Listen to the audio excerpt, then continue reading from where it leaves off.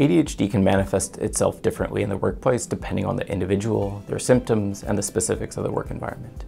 Attentional symptoms can appear as distractibility and difficulty following along in meetings or conversations, or challenges with detailed work, planning, or timeliness.